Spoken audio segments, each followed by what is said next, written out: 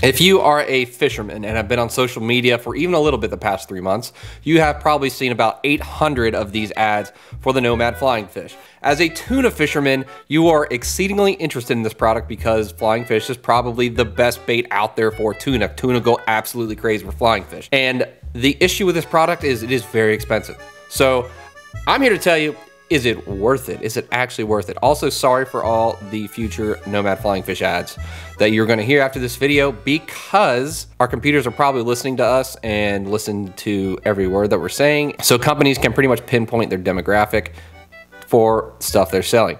So cat litter, the person watching this video wants cat litter. They want cat litter, they have cats, meow mix, meow mix. You're welcome for all of the cat product ads after this video. So Nomad Flying Fish. Now, just like any other lure, this comes in an assortment of sizes and colors, and they have interchangeable wings that you can buy separately if one of them breaks, hopefully not, or if you just want to change the wing color. They also come with rigging packs, and there are seriously about 50 ways to rig this, all to personal preference. If you go on Nomad's website, they have hours of video, literally hours of video showing how to rig it and different ways to rig it and that comes with a nice little rigging kit. They're a very, very good looking lure, but the obvious question is, uh, do the fish think it's a good looking lure?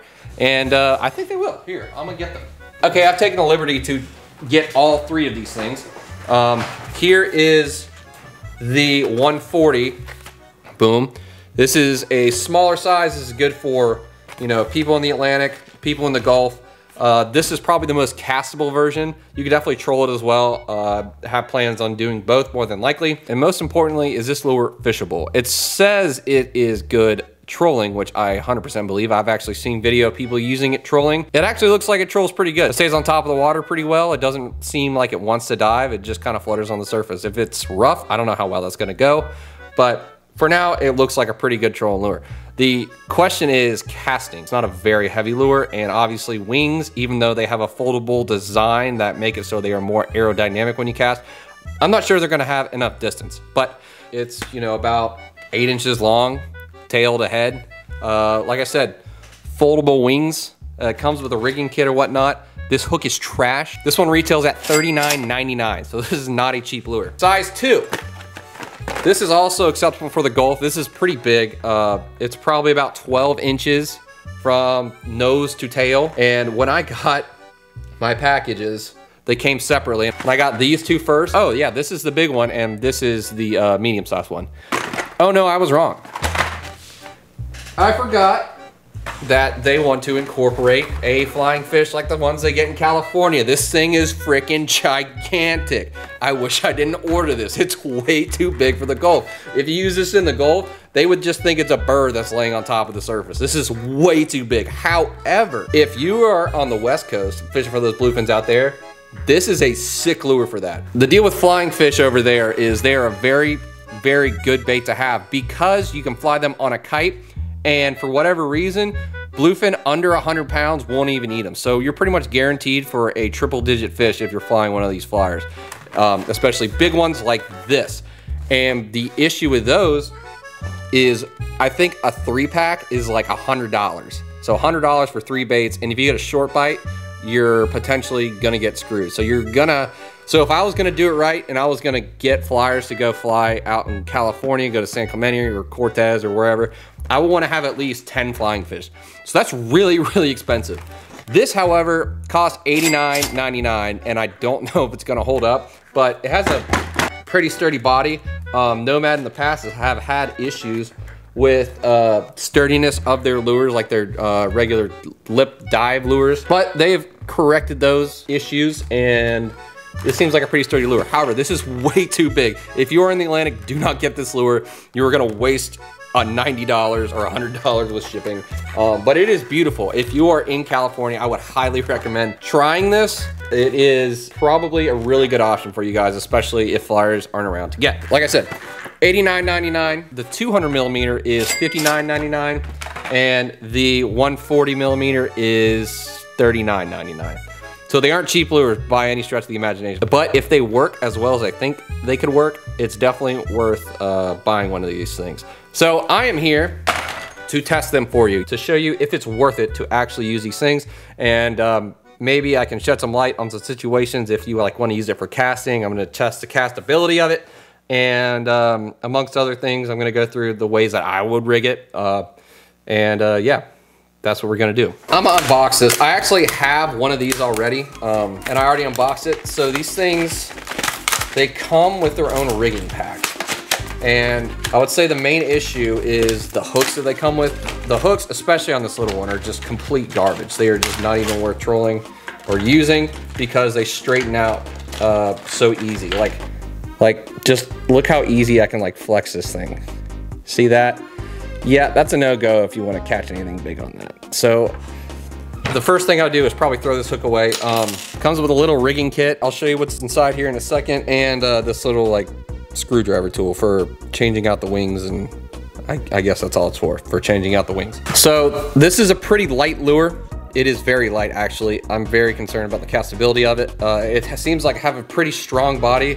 It's got little like clacker beads in it, I guess to make it heavier and to give it a little sound, I suppose. Um, like I said, all of these appendages, the tail, these little things right here, and the wings, they are interchangeable so you can get different colors or replacements for it. Um, and they fold over pretty easy. Uh, it seems like a pretty solid lure. Uh, let's open this up. Okay, so in the rigging bag package thing deal, it comes with one little rubber stopper, um, a little hook sleeve, a little rubber cushy hook sleeve, and a bunch of uh, like rigging rubber bands. These are essentially just swordfish light bands. So this little sleeve, if you go on Nomad's website, they suggest if you're going to rig it a certain way through the head that you put this over it and it has a nice little ridge in this back so you can pin this hook inside the little ridge and it'll stick straight up. So as you can see, this thing has a nice little ridge in its back. And I guess the design idea is to use this little hook and uh, pin the hook inside of it. It doesn't want to go in there. Well, I want to go. There it goes. I mean, that's not exactly what they intended, but it stays in there pretty good. Uh, hold on. So maybe not like the most a pliable thing. This is like one of the recommended ways that they do it. Obviously this little thing came with the, I can't even get it in there except for sideways. Hold on, I got another one. Maybe the other rigging pack will have something. Yeah, so I don't know what the deal with that is. Uh, I feel like I'm gonna break the lure. Oh, okay. Okay, so I jammed it in there. Kind of, I guess. Man, I, this thing is actually, I don't know if this is the uh, way to do it with this size, guys. The idea would put it through this, I guess, or one of these, or like put a split ring on there and rig it through there, but that doesn't look like something you want to do. So like kind of the way that they want you to rig it isn't really going to work. However, they have two holes in um, the nose of this lure that all channel through to the backside right here. Here, I'll show you. Okay, there's one on the nose and there's one underneath right there. You can see them both right there. Cool. Um, so what you can do is go in through there and it'll go all the way back out. Actually, I think it'll go up top too. So there it goes out the back, right there, boom. I think there's a way to do it. Let me see, they have, this is another thing they include, this little hole stopper, whatever, you can put in one of their holes so it goes to another one. I think there might be a top side. Oh, you know what it is? It goes, I might go straight out the back. Yeah, I bet that's what it is. Yeah, okay. So yeah, you can take the tail off and rig it straight out the uh, tail of the lure. Another option uh, for this, and I think this is gonna be the way that I rig it if I'm gonna cast it. You have this little ring down here, and um, it's there so you can loop on some jigging hooks. Uh, just standard issue assist hooks, slow pitch hooks, whatever you wanna call them. Put on a little split ring, and boom, there you go will fly around pretty good. I think it'll look good. I think this is probably the best way if you plan on casting it uh, compared to trolling it. I feel like if you have it set with rubber bands or whatnot, um, or something on top right here, it's probably gonna slide through. I would I would either do the uh, assist hooks or maybe tying a hook straight out the back or you know straight underneath. But I think those hooks are probably the best option. Um, obviously, if the lure can hold up to it. I am gonna assume it can. I'm sure this metal piece goes all the way to the nose there. Put a little split ring right here, I suppose, and tie it onto that. This is a little sharp. I don't think I would tie directly to this little nose piece. Okay, we're gonna move along to the uh, 200. So we got it open, a little bit beefier, um, a little bit more castable, but still nonetheless pretty light lure. The wings are pretty heavy on this. Most of the weight is forward because of the wings um, and the size of them. They are pretty thick wings, by the way. I guess I should show you that. Pretty thick. Pretty thick material. It seems pretty sturdy. I don't think it would get like torn off or something like that. The holes for this, the holes to keep it on are pretty thick as well. Hopefully they won't like pull through if they, you know, if you get a short bite on the wing. It looks like it be pretty sturdy. This would be easier to cast. It is. It would be kind of awkward to cast. I think this is definitely going to be a trolling thing for me. And there's a couple different ideas of how I want to rig this. So I bought these hooks right here. These treble hooks. And these are actually a little bit small. I have some bigger ones as well. Uh, you guys on the West Coast, it's like your standard issue flyer hook. Um, some guys on the East Coast, not many people use treble hooks this big.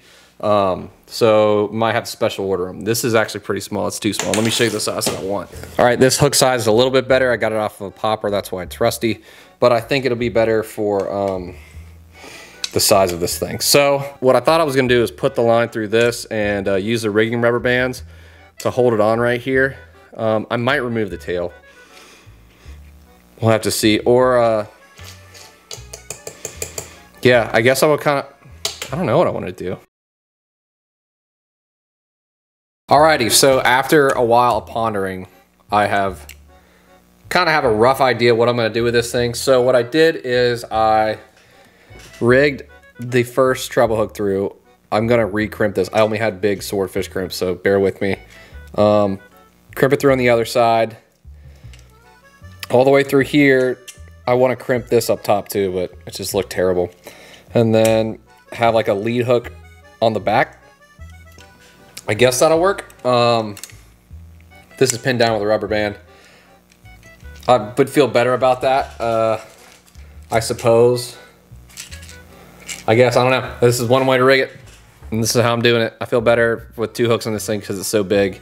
I feel like you have more of a chance with the uh, dual hook technique. I would just run two hooks off the back, but then again, I like I said, I wanted it underneath the chin uh, right there so it would want to drive up because this is going to be trolled. Um, if you're doing it off of a kite, then it'll be a lot easier to rig. Um, but I think this is gonna troll correctly, I hope. And uh, kind of a rough draft of what I would want to do. And obviously you can do this with J hooks too. I just feel better about circle hooks. Um, there you go. Alrighty, boys, in the yard, got it tied on. Um, no hooks. And uh, as a really good, I guess as a uh, over exaggeration on the control. It is not very windy. Um, and this is really, really light braid, so you should get maximum distance out of this thing. Uh, this is just kind of a test, see if it can cast at all. So really not any wind. Uh, high castability. Uh, this is a pretty stiff rod for this reel. This is a small reel, but for the test, it doesn't matter. Um, just want to see if it could actually go.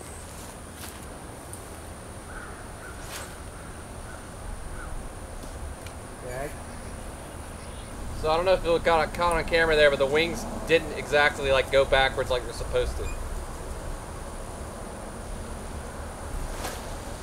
Oh golly. Freaking knuckled way to the left.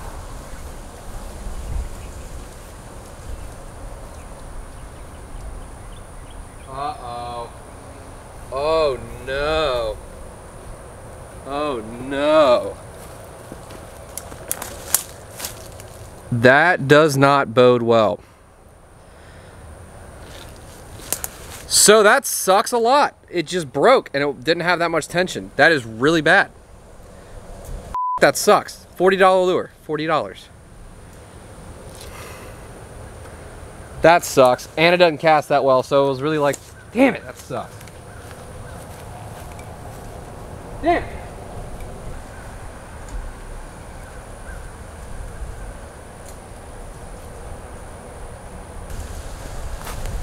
This is not like it, it didn't get caught on the grass or anything. It just kind of fell apart. That sucks a lot. Well, I think that answers a lot of questions for you. Better uh, me than you. Save a lot of people a lot of money, hopefully. That sucks. I mean, this lure does have a lot of potential.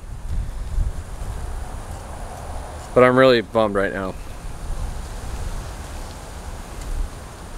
That's really unfortunate. Very, very unfortunate. Damn it. So I would say the castability is like a three and a half or four out of 10. Um, it gets about the distance I thought it would, which is about 30 or 40 feet. Um, but you can't cast it straight. The wings did not fold back and it broke after um, very, very light uh, tension. It just snapped off.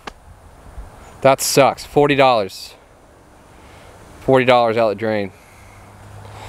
Well, I still got hopes for it. I know it'll get bit. Um, I'm pretty sure the big one will get bit, the bigger one.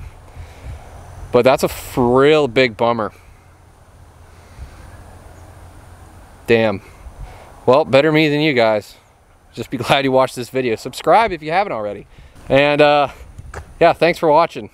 You're welcome. And uh, let me know if you like this tackle kind of stuff. This is very new, obviously product review, unboxing, if you will. Very popular in the YouTube side of things. If you like it, uh, please let me know. I will review uh, like some new reels or something that comes out that I get or lures or whatnot, things of this sort. I'm sure this is going to be helpful for a lot of people, um, especially this video in particular, due to the unexpected outcome. God, that sucks. Um, but yeah, give me a, uh, how about a pity subscription from you guys? All right, very clearly not in my office anymore. I am out in the middle of the beautiful Arizona desert for this guy's bachelor party. Yeah, it's my brother. Uh, but update on the Nomad situation. So we are out here shooting really cool uh, experience shooting some really big and really nice fully automatic weapon systems. All right, let's get it, Joe.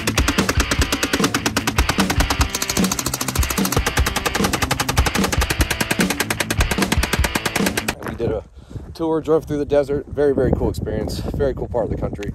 Anyways, update on the Nomad situation. I posted a story about them, obviously, with my displeasure of the product breaking.